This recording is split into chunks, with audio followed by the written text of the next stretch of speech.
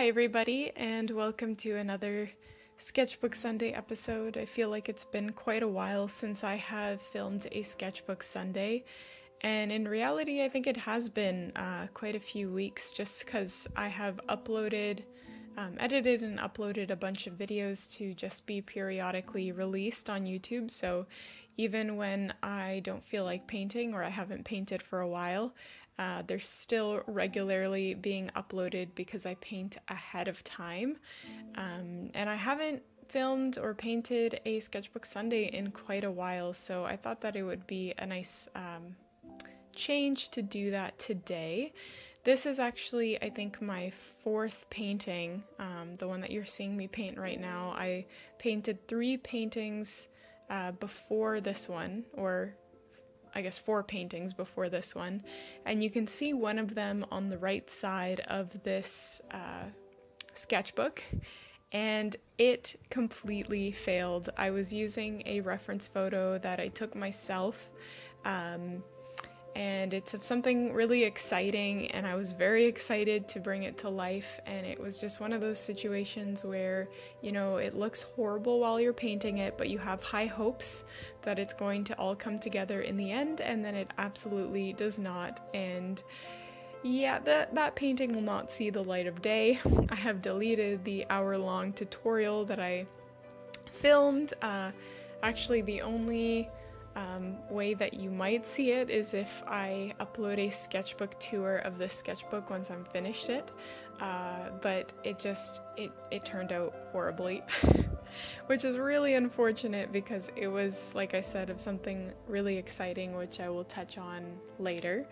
Um, so you can definitely join in and paint along with me, or you can just listen to me chat but as sort of a boost to my own morale, I decided to just paint a really simple acrylic mountain painting.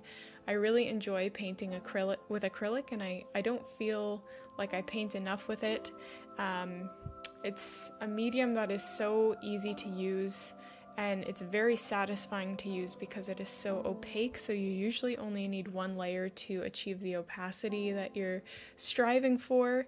Um, so in a, a mountain scene like this it's really nice to use and, and paint with it but uh, I wanted to use this video as a bit of a, an update. There are a couple of things that I wanted to update you guys on or just chat about. Um, the first one is that my channel has or was finally monetized, so it reached all the milestones that were required for monetization. Those being uh, a subscriber count, which I actually reached a long time ago, but I was waiting for those um, hours viewed to finally uh, meet the requirements of YouTube, and I uh, I definitely can't quit my day job. I'm making almost nothing, but it is very exciting to see some sort of monetary compensation for all the work that I've put into this channel over the last year and a half.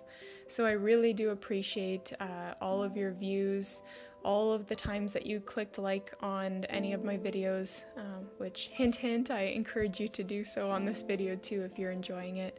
Um, every comment, every subscribe, uh, subscriber, it's it it all helps and it all helps me grow my channel. So I do really appreciate it and I hope that you decide to stick around and see where this uh, painting YouTube journey takes me and takes us.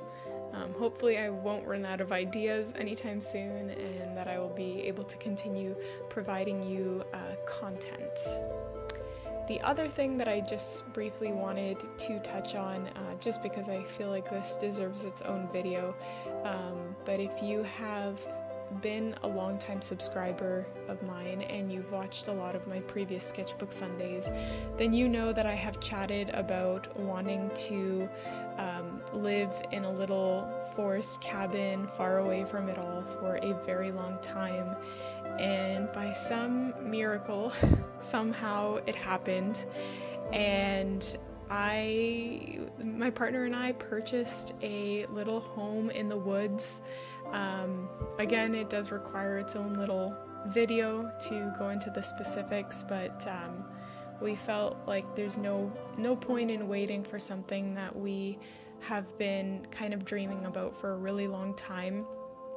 And um, so by the time that this video comes out, I think that we might already be living in that home, uh, but I will have to put out another video and update you a little bit more about that um, sometime in the future. But for now, just know that there are exciting and new and stressful things happening. so um, we'll see where that journey takes takes me, and um, we'll see if the new setting inspires any nice paintings. Anyways, that is it for today's video. Thank you so much for watching. Don't forget to subscribe and like my video, and I will see you in next week's tutorial.